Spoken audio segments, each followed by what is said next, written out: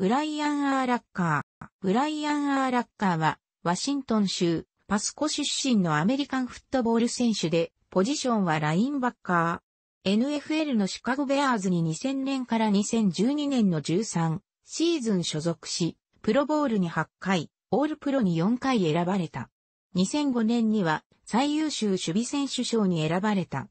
最優秀守備選手賞と最優秀新人守備選手に選ばれたのは NFL 史上彼で5人目である。バディライアンの46守備でリーグを席巻した80年代以来、約20年ぶりの復活を遂げたベアーズを象徴する選手であった。1982年にワシントン州パスコで生まれた。1980年代末に両親は離婚し母親が彼や彼の兄弟の親権を得た。一家はニューメキシコ州ラビングトンに移り新たな生活を始めた。高校時代に彼は、怪力、機敏さ、スピードを発揮し、アメリカンフットボールチームにシーズン14勝無敗の成績をもたらした。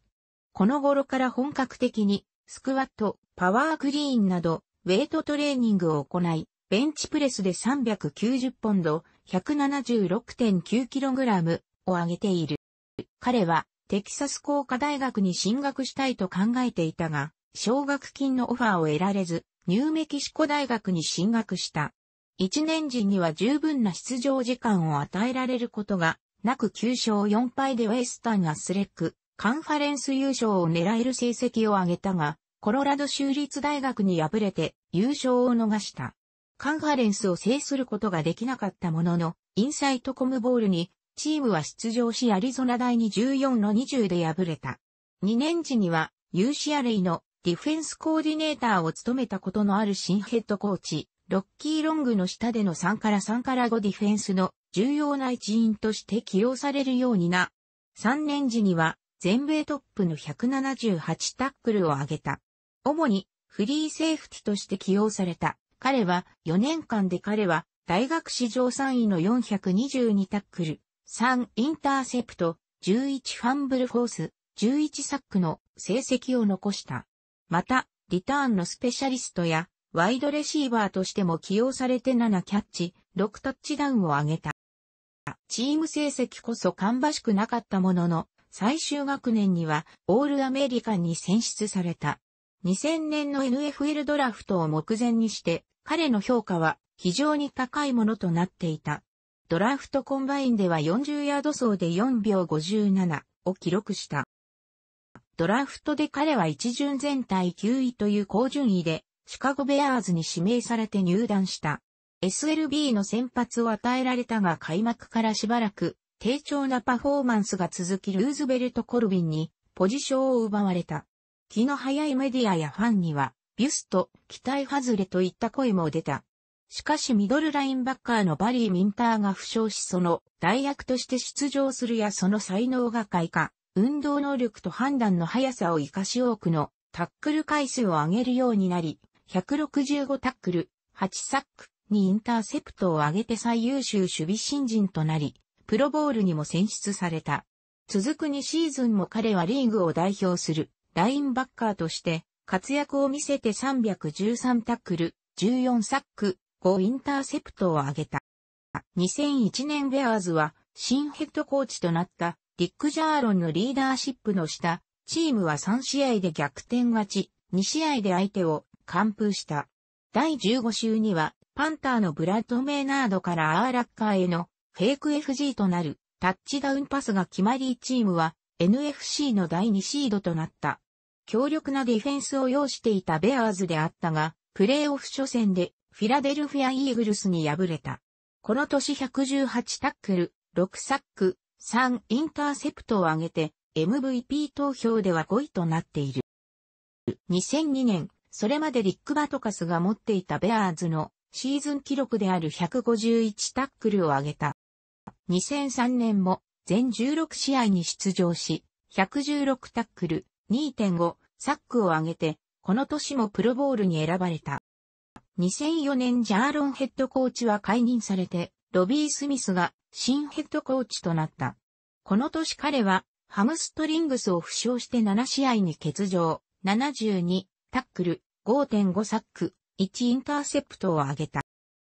2005年チームは序盤つまずいたが、その後8連勝し、クリスマスに行われたグリーンベイパッカーズ戦をものにして、プレーオフに進出した。彼はこの年、全試合に出場、122タックル、6サックを挙げて、シーズン最優秀守備選手に選ばれた。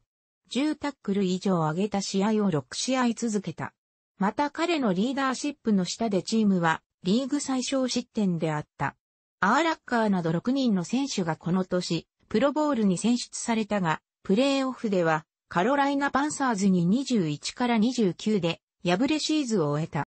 2006年、チームは開幕から9勝2敗となった。第6週のアリゾナカージナルスとのマンデーナイトフットボールでチームは一時20分点リードを許したが、アーラッカーがエザリン・ジェームズにファンブルさせたプレーがタッチダウンにつながるなどして逆転勝ちを収めた。この試合で彼は18タックル、10ソロタックルを上げた。この年彼は142タックル、3インターセプトを上げて、チームは13勝3敗と NFC トップの成績を上げ、チームはプレーオフではシアトルシーホークス、ニューオーリンズセインツを破り第41回スーパーボールに出場を果たしたが17から29でインディアナポリスコルツに敗れた。この年もプロボール、オールプロに選ばれたが、つま先の負傷を理由にプロボール出場は辞退した。2007年には、チームは、地区最下位となる7勝9敗でシーズンを終えた。チームは不調だったものの自己ベストの5インターセプト、5サック、1ファンブルリカバー、123タックル、1タッチダウンを挙げた。12月23日のグリーンベイパッカーズ戦では、ブレット・ファーブのパスをインターセプト、85ヤードのリターン TD を上げた。2008年、全16試合に出場し、93タックルにインターセプトを上げた。2009年9月14日のグリーンベイ、パッカーズとの開幕戦で右手首を痛め手術をすることになり、シーズンを棒に振ることになった。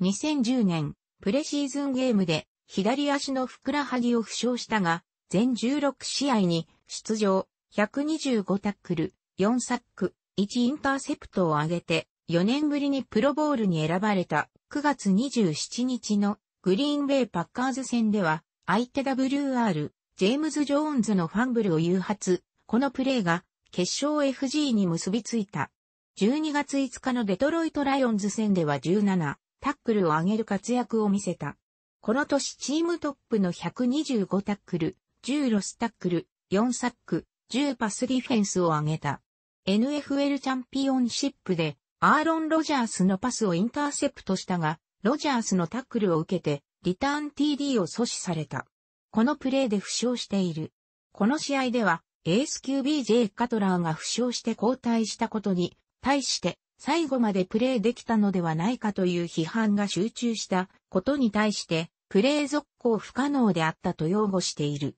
プロボールに選ばれていたが欠場。代わりに、ロンドン・フレッチャーが選ばれた。2011年、第1週のアトランタ・ファルコンズ戦で12ヤードのファンブルリカバー TD、1インターセプト、10タックルを上げて、NFC 週間 MVP 守備部門に選ばれた。シーズン終盤に内側側副人体とあと十字人体を負傷した。この年16試合に出場し、102タックル、3インターセプトを挙げた。2012年8月14日、左膝の内視鏡手術を受けた。第9週のテネシータイタンズ戦で46ヤードのインターセプトリターン TD、1ファンブルフォース、1ファンブルリカバー、7タックルを上げて NFC 週間 MVP 守備部門に選ばれた。12月2日のシアトルシーホークス戦でハムストリングにグレード2の負傷を受けた。2013年3月、シカゴベアーズから契約延長はせず、退団することが発表された。同年5月22日、ツイッターで現役引退を表明した。ベアーズでの通算成績は、1229タックル、41、5サック、12ファンブルフォース、22インターセプトであった。ルーキーシーズンでの活躍で彼は、ファンの人気者となった。ミッドウェイの怪物たちと呼ばれた1940年、1941年に活躍した選手、リック・バトカス、ビル・ジョージ、サムライ・マイク・シングレタリーなどと並ぶ選手と、ベアーズファンは考えている。全米レベルでも、彼の人気は高く2002年には、NFL 選手のジャージの中で彼は、マーシャル・フォー、ドノバン・マクナブ、ブレッド・ファーブ、ジェローム・ベティス、ジェリー・ライスに次いで6位となった。しかし評論家の中には、彼が過大評価されていると懐疑的なものもおり、2005年に最優秀守備選手に選ばれた直後に、スポーツイラストレーテッドが NFL で過大評価されている選手は誰かという36人の NFL 選手に行ったアンケートでは、テレル・オーウェンスに次いで2位となった。ラインマンと見間違うような体格に加えて、LB としては、規格外のスピードを持ち、チームメイトの LB、ランスブリックスからは LB 版、マイケル・ビックと評されている。ベアーズに入団して最初の5年間はジャンクフードばかり食べていたが、その後食生活を改善させている。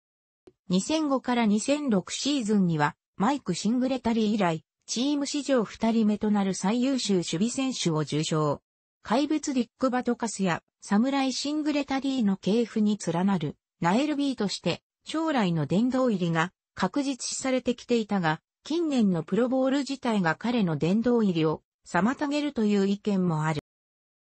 妻との間に娘が二人、また前妻との間に息子が一人いる。また、弟がアリーナフットボールの選手となっている。2002年にテレビ番組のホイール・オブ・フォーチュンに出演した際には、チャリティとて4万7千ドル以上を寄付した。またベアーズの選手と共にスペシャルオリンピックスやドナルド・マクドナルドハウスでボランティアを行った。彼はニューメキシコ州で自動車ディーラーにもなっており、マクドナルド、ドミノピザ、コムキャスト、ナイキ、キャンベルスープカンパニーの CM に出演している。セガスポーツの NFL 2K3のカバー選手となった。スーパーボール前のプレスカンファレンスの際に NFL 非公認の飲料メーカーの帽子を着用していたためリーグから10万ドルの罰金を受けた。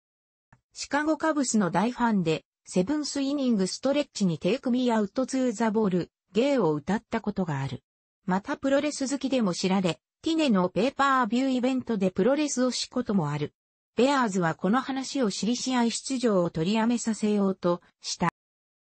2012年1月、長年、トラドールという鎮痛剤を使用していることを明かした。また脳震盪を起こしたとしても正直には告げずに、プレーを続けると語った。2013年7月、自分が引退した後に、ベアーズがスーパーボールで優勝してほしくないと心境を語った。このコメントにチームメイトだった QBJ カトラーは共感すると表明したが、ベアーズが第20回スーパーボールを制した時のヘッドコーチ、マイク・ディトカは、アーラッカーの発言に対して苦言を述べた。楽しくご覧になりましたら、購読と良いです。クリックしてください。